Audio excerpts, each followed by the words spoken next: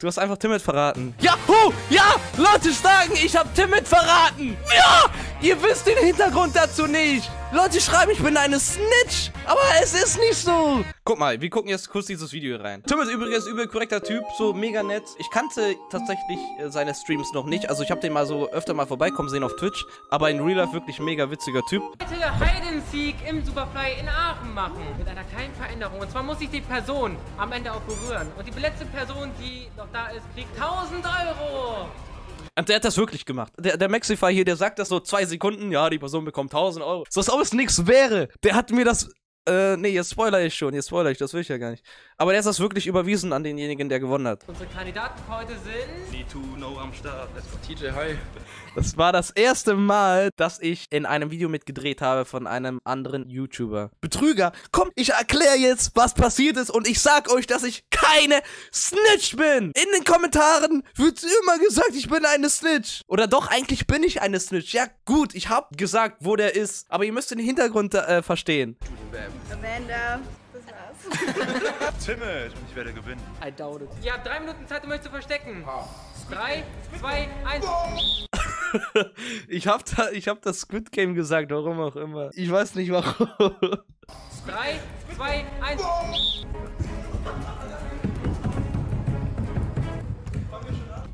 Da hab ich fang mir schon angesagt. Alter, ich war so verloren.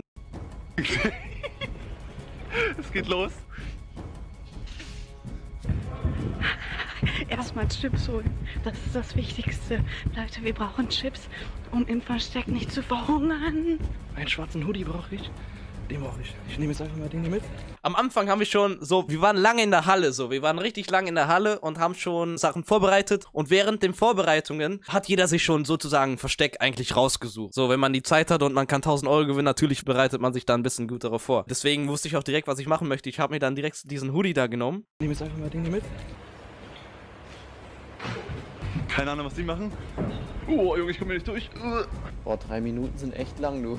Scheißendreck, Scheißendreck. Oh mein Gott, ey. Wie hier einfach keine Chips sind. Wir haben eben schon die ganze Zeit Verstecke gesucht.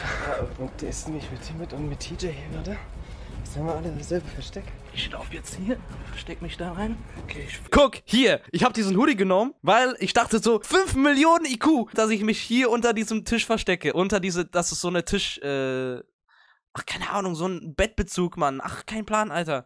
Äh, dass ich dann hier reingehe, reinkrabbel und dann halt mich hier so ein bisschen hinhocke. Versteck mich da rein. Okay, ich versuche jetzt. Deswegen habe ich auch diesen Hoodie geholt, um mir den dann über mein Gesicht zu, äh, zu, äh, zu, äh, zu stecken, zu schieben. Ach, ich bin so dumm, ich bin richtig verloren gerade. Normalerweise bin ich nicht so dumm. Okay, ich versuche jetzt hier reinzugehen. Leider, leider geht das nicht, weil ich zu fett bin. Äh, Ja, da war zu wenig Platz. Ich bin nicht dick. Drei Minuten sind gleich vorbei, ne? Okay, dann geh du nach da. Der wird niemals, niemals herausfinden, dass wir im Lager sind, Leute.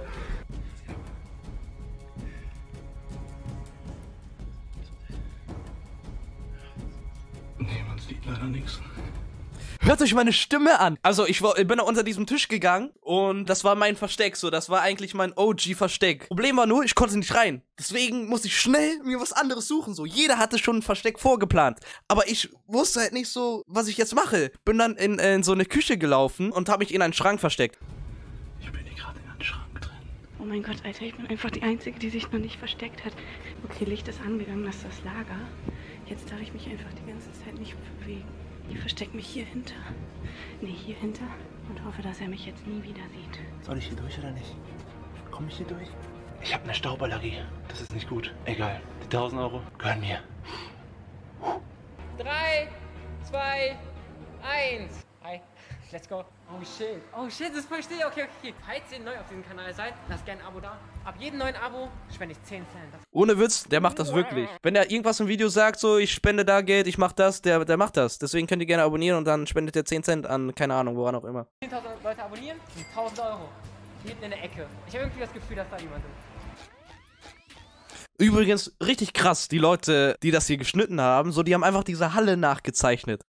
Wer glaubt, die wird zuerst gefangen? Schreibt mal in die Kommentare. Ich habe eine Stunde Zeit, oder? Ungefähr eine Stunde.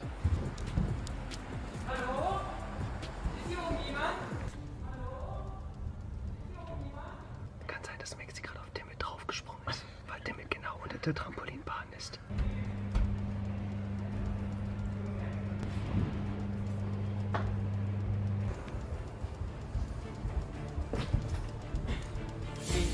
Ich darf nicht verkacken, das ist das Ding.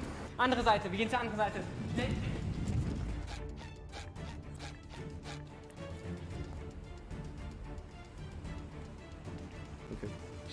Niemand, hä? Ich dachte, hier ist jemand. Warte mal, kann man hier aufnehmen? Wenn man hier in diesen Raum reinkommt, Guck, da ist diese Küche und hier ist dieser Abstellraum. So, ich muss da jetzt spontan irgendetwas Neues finden, weil das unter diesem Tisch nicht ging. Ich sage euch jetzt was, wa- warum es kacke ist. Weil wenn Maxi hier reinkommt und einen Schrank sieht, der übel groß ist, dann macht er den ja natürlich auf. Das heißt, wenn er hier in diesen Raum reingekommen wäre oder reinkommt, dann habe ich verloren. habe ich eigentlich so gut wie verloren.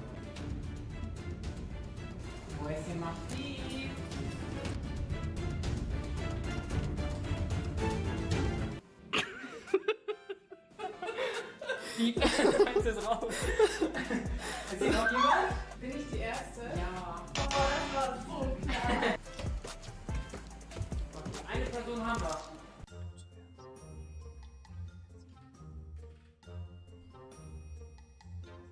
Nito, bist du klein? Ja, ich bin klein. Ich bin 1,67. Leute, ich wollte nur sagen, die erste Person wurde gefunden.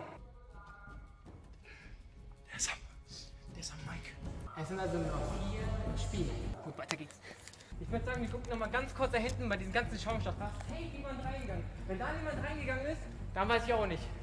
Maxi, du wirst mich niemals finden. Ich habe das legit beste Versteck. Ich bin hier in irgendeinem so Abstellraum. Leute verstecken sich unter den Trampolinen wahrscheinlich. Safe, gleich guckt von irgendwo so eine Kamera raus.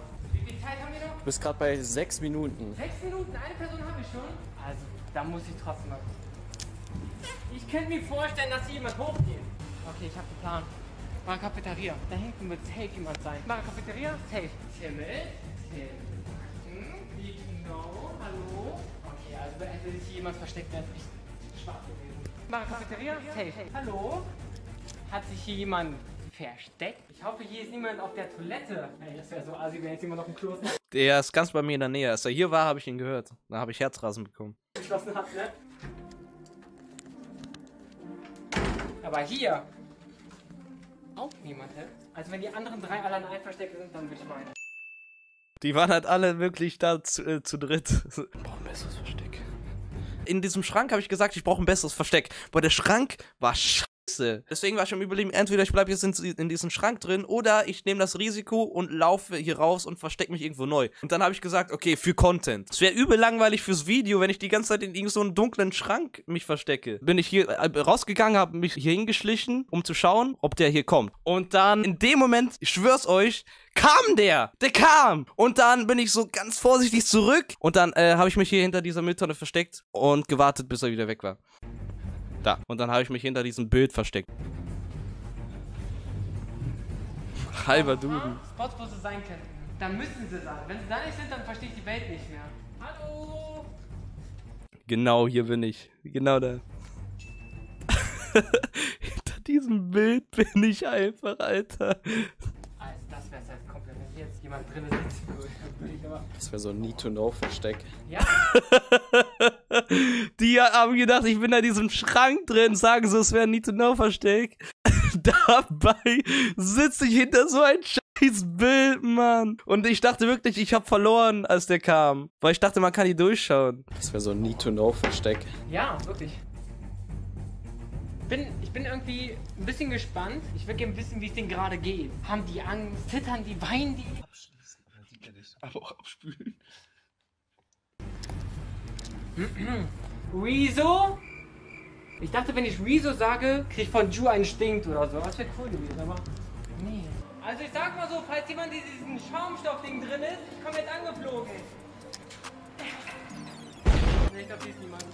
Irgendeine Sache übersehe ich bei den ganzen. Okay, Leute, 20 Minuten sind rum, ich finde einfach niemanden. Ein kleiner Weg, müsst ihr euer Versteck jetzt ändern. Ihr habt drei Minuten Zeit. Viel Spaß. Weil er uns nicht finden konnte, uns drei, hat er gesagt, versteckt euch nochmal neu. Eigentlich habe ich das schon gemacht, so. Ich bin ja hinter diesem Bild gegangen. Und wo ist Timid? Krank. Er hat jetzt eine Person gefunden. Eine. Nach 20 Minuten. Das könnte actually was werden. Ich verstehe nichts. muss mich neu verstecken. Äh, Ich schwör's euch, ich habe da nichts verstanden. Hinter diesem Bild habe ich nicht verstanden, was, er, was der Maxi da gesagt hat. Und dann habe ich echt, ich schwör's euch, ich habe geraten, dass er gesagt hat, dass wir uns neu verstecken müssen. Ich muss mich neu verstecken.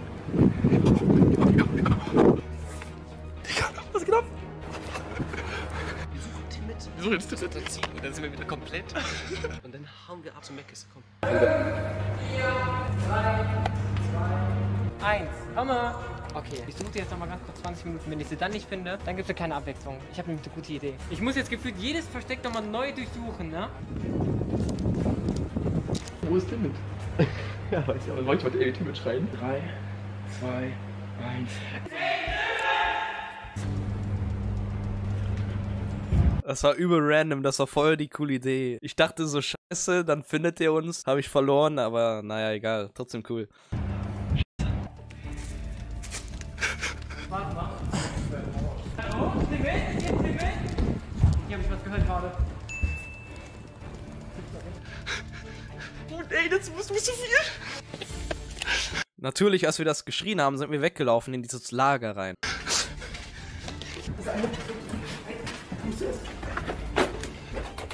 Nein, oder? Hier ist dieses Lager, der geht. Was, pass auf. Also, wenn ich mich jetzt hier verstecken würde. Wir sind dann da reingerannt zu dritt. Und Ju und TJ waren die ganze Zeit so am Kichern, so am, am Hihi, oh, äh, so, äh, aber ich war so richtig ernst, so wirklich ernst, ernst, weil ich wollte das Ding gewinnen. 1000 Euro ist voll viel Geld, Mann. Die sind hier, die beiden sind die Treppen hochgelaufen und dann wollte ich mit denen mitlaufen und dachte mir so, nee, Alter, wenn ich jetzt mit denen mitlaufe, dann werde ich gefunden. Weil das wäre auch blöd, wenn wir zu dritt im selben Versteck sind, dann werden wir alle drei gleichzeitig gefunden. Ist ja auch blöd für Content. Deswegen bin ich runtergelaufen, obwohl in dem Moment kam Maxify schon um die Ecke. Deswegen bin ich nochmal runtergelaufen, mich dann unten versteckt, anstatt oben, wo die beiden sind. Da will ich versuchen, so leicht wie möglich zu sein. Damit ich dieser gewisse Maxify nicht finden kann. Eine Leiter, auf die wohl irgendwer benutzt hat. Aber Hier ist niemand. Da ist jemand oben. Oh, ich würde mich hinter Matten verstecken.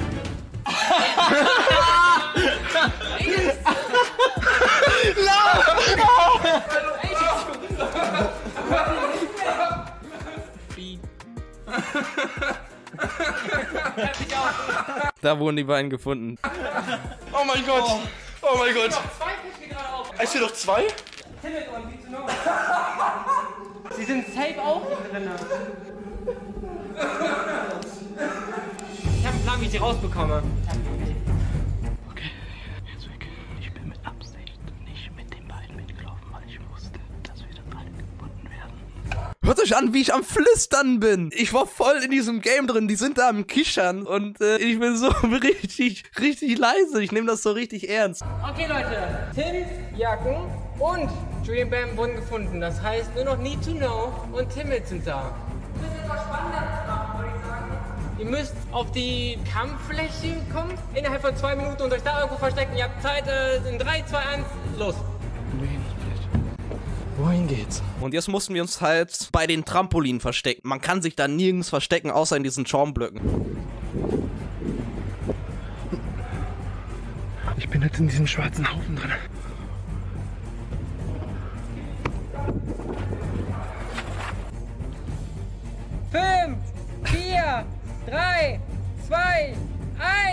Geht um 1000 Euro, ne? Ich wollte es aber gesagt haben. 1000. Danke. Oh, es macht so Spaß, Junge. Es ist so, es ist so aufregend. Falls ihr es noch nicht gemacht habt, gebt dem Video einen Daumen nach oben, okay? Maxi freut sich.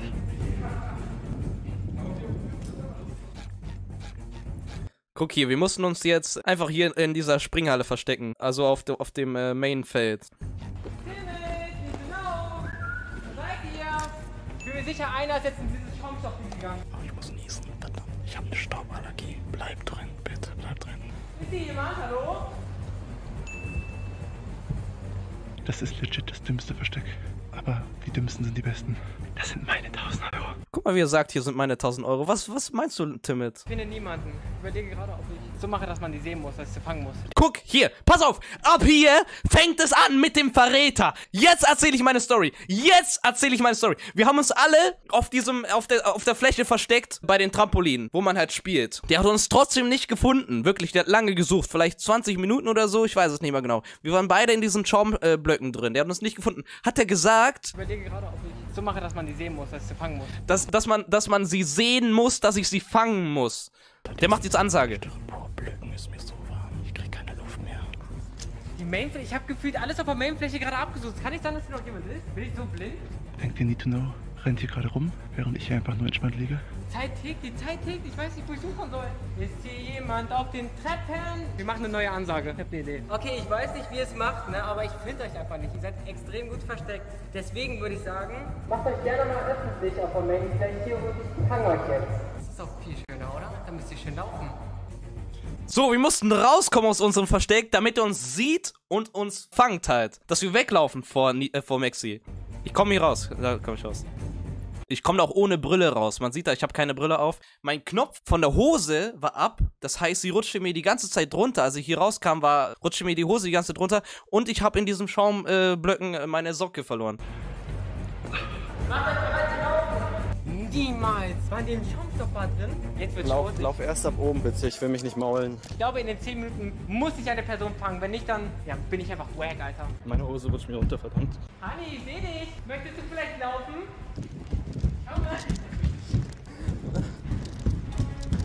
Mann, es geht halt 1000 Euro. Junge. Ja, da laufen wieder wie Weltmeister alle auf einmal. Oh, jetzt ist er da oben. Ah, Ich glaube, ich hab's, Freunde. Ich glaube, wir schaffen's. Guck mal, wo hinläuft. Guter Herr, möchten Sie vielleicht runterkommen? Wo ist Tim jetzt überhaupt? Ey, Mann! Ich bin so weggerannt vor meinem Leben. Ich schwör's euch. Bitte fang ihn doch einfach. Fang ihn doch einfach. Okay, Ich bin hier hochgelaufen. Pass auf, das sieht man zwar nicht, aber das ist mega hoch. Und ich bin, ich bin da runtergesprungen auf den normalen Boden. Junge! Ich bin viel alt dafür! Okay, so, jetzt da. Ich hab ihn verraten. Ja, okay. Ich hab ihn verraten, okay? Sag es ruhig. Sag es ruhig. Ding ist.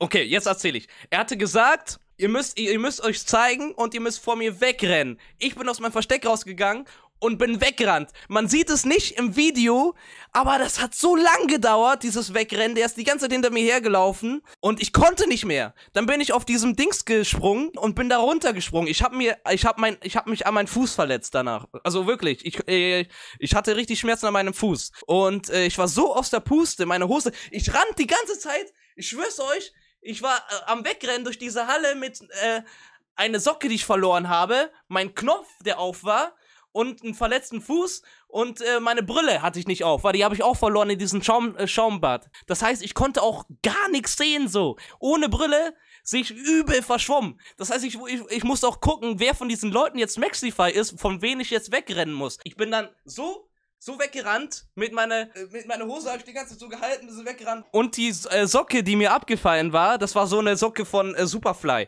Diese rutschfesten Socken, ne? Das heißt, an einem Fuß hatte ich die noch an, die andere Seite bin ich die ganze Zeit so weggerutscht ein bisschen, weil die Socke da, weil ich die verloren hatte. Unter diese Superfly-Socke hatte ich noch meine normale Socke an, deswegen war eine rutschfest und die andere nicht. Deswegen bin ich, bin ich wirklich, ich schwör's euch, ich konnte nichts sehen, mein Fuß tat weh und ich hatte eine Socke weniger. Deswegen, ich bin, ich bin so gelaufen, so, die ganze Zeit mit, ich, äh, das war äh, übel, übel. Und dann nach einer Zeit war ich richtig aus der Puste, so. Und dann hat Maxify so gesagt,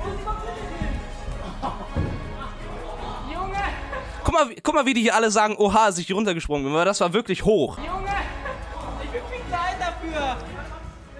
Und dann hier, man sieht es nicht im Video, aber Maxi hatte so gesagt, sag mal, wo Timid ist, sag mal, wo der ist. Und ich wusste, von Anfang an wusste ich, wo Timid war. Ich bin da 10 Minuten weggerannt und wusste die ganze Zeit, dass er sich versteckt und ich hier wie so ein Vollidiot wegrenne. Ich wusste die ganze Zeit, wo der war, aber ich habe nie was gesagt. Und dann an diesem Punkt hier, man sieht auch, guck, und dann habe ich so dahin gezeigt in diese in diese Ecke. Ich habe nicht ges gesagt, wo der ist, dass er jetzt da oben drauf ist. Ich habe nur die Richtung gezeigt. So, ich habe die Richtung gezeigt, dass er da in der Nähe ist. Weil an diesem Punkt mein Fuß tat weh, ich konnte nicht mehr rennen. Das heißt, entweder Maxify äh, fängt mich und ich verliere oder ich sag, wo Timid ist und hab noch eine Chance. Äh, und dann habe ich halt dahin gezeigt. Weil, äh, komm schon, sind 1000 Euro. Come on! Wer will das nicht haben, Mann? Ich habe nicht, im- im Video sieht man das nicht, aber Maxify hatte mich so gefragt, so, wo ist Timid? Ich habe dann nicht einfach so hingezeigt. Hätte er nicht gefragt, wo der ist, hätte ich niemals gesagt, wo, äh, wo, wo sich Timid versteckt, so. Weil ich wusste von Anfang an, wo der war. Aber ich habe es halt nie, nie, nie gesagt, obwohl ich halt so Schmerzen hatte. Aber dann in dem Moment sagte Maxi, sag mir, wo der ist. Und das war jetzt so die perfekte Chance, so, endlich mal eine Pause zu haben.